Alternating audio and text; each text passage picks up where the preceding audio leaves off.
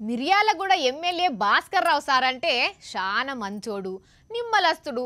ఎవరిని ఒక మాట కూడా అనడు. సార్ పని సార్ చూసుకుంటాడు. పబ్లిక్లో తిరుగుతాడు పబ్లిక్ కోసమే పనిచేస్తాడు ప్రతిపక్షాలు ఏదన్నా అంటే అస్సలు పట్టించుకోడు. ప్రజల మనిషి అని పేరున్నది కదా కానీ అసోంటి పబ్లిక్నే పబ్లిక్ మీటింగ్ పెట్టి మరి ప్రతిపక్ష పార్టీలకు ఎట్లా వార్నింగ్ ఇచ్చిండో చూడండి ఏరే పార్టీ కూడా మా రోడ్డు మీద నడవకండి. కేసీఆర్ వేసిన రోడ్డు మీద నడవద్దు. అబ్బబ్బబ్బబ్బబ్బా ఏం చెప్తిరి ఏం చెప్తిరి సారు?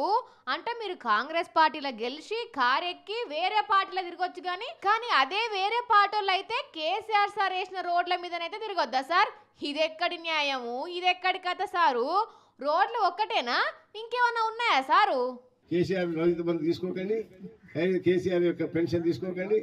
కేసీఆర్ యొక్క కళ్యాణ లక్ష్యం తీసుకోకండి. తీసుకోకుండా ఉండండి.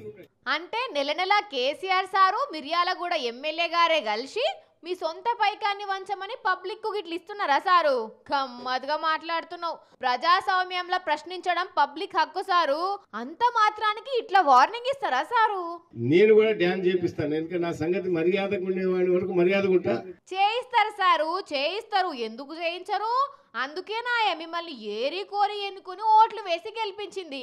డాన్సులు చేయిస్తారు అన్ని చేయిస్తారు. ఇంకో ఆరు నెలలు మీరు ఏది చెప్తే అది నడుస్తుంది కదా? ఇంకొక ముచ్చట గుర్తు పెట్టుకోండి సారు. ఈ ముచ్చట్లన్నీ జరాలు యాదికి పెట్టుకుంటే మీరు ఓట్లకు పోయి అడిగినప్పుడు వాళ్ళు కూడా డాన్స్ వేస్తారు సారు.